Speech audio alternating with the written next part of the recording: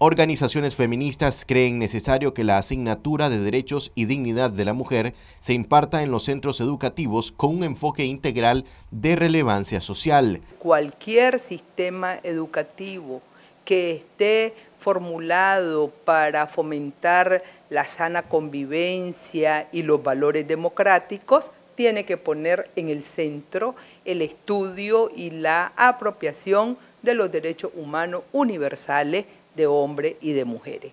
Ahora bien, en ese contexto, pues habría que hablar de los derechos de las mujeres, de los derechos de los pueblos indígenas, de los derechos de las minorías sexuales, de los derechos de la niñez, que han sido históricamente grupos que han sufrido determinadas formas de discriminación. Lamentablemente, en estos 15 años, eh, en que eh, el, mismo gobierno ha estado, digamos, en control del, Estado, pues no hemos visto un esfuerzo consistente.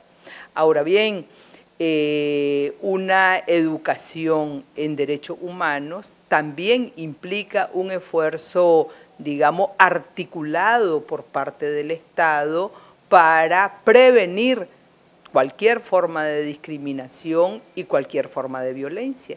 O sea, no basta con dar algunas clases que generalmente son optativas e intermitentes para poder enfrentar un problema que es sin duda alguna eh, estructural dudan de la preparación adecuada de parte de los docentes encargados de estar al frente de esta temática escolar. Eh, el tema es que para eso el cuerpo docente tiene que estar preparado. Entonces la pregunta que nos hacemos eh, desde las organizaciones de mujeres que hemos venido demandando desde hace mucho tiempo una educación integral eh, es ¿Está preparado el cuerpo docente que trabaja en las escuelas públicas para dar ese tipo de educación.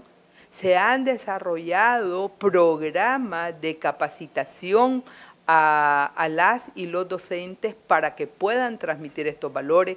Nosotros presumimos que no. Es decir, no conocemos de esfuerzos que se hayan realizado para preparar al cuerpo docente. De hecho, eso mismo pasó con la, con la educación sexual. Se suponía que se iba a hacer una educación sexual integral basada en un enfoque de derecho humano y realmente no, no se avanzó en esa dirección, entre otras cosas. Marcos Medina, Noticias 12.